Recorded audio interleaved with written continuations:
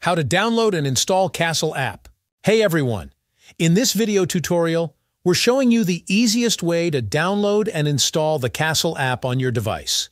Whether you're using an Android or iPhone, so to download and install the Castle app on your device. First things first, grab your device and open the Play Store if you're on Android or the App Store if you're using an iPhone. Next, tap on the search bar at the top of the screen, type in Castle and hit the search button. You're looking for the app named Castle Make and Play. Once you see the app in the search results, go ahead and tap on it.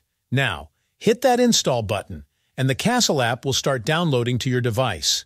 The download time will vary depending on your internet speed. After the installation is complete, tap on Open to launch the app. You might be prompted to give some permissions. Go ahead and allow those. And just like that, you're all set to start using the Castle app. And that's it. Now, You've successfully learned how to download and install the Castle app on your mobile device. If you have any questions, feel free to leave them down in the comments below. I'll do my best to help. Thanks for watching. If you found this video helpful, do not forget to like this video and subscribe to this channel.